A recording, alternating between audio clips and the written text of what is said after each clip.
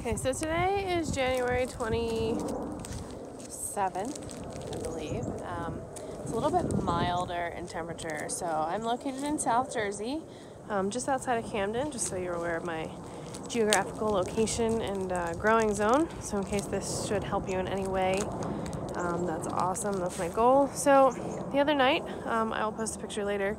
Uh, the greenhouse blew over on its side, so it was that way.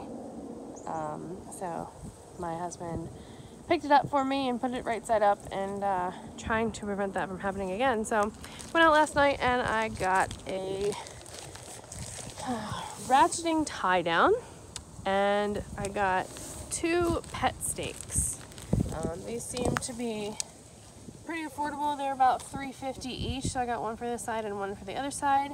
Um, today I was able to get them into the ground because it is a bit more mild. The temperature is about um, in the mid to high 40s today. So um, I just had to wait a little while. Earlier I tried to get this side in, but it wasn't quite warm enough just because it doesn't get a lot of sun now, obviously due to the structure in a way. Um, but the ground did soften up a little because it is a little warmer.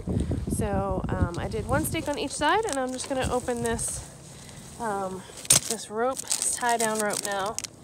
Sorry, I'm gonna pause this and I'll get back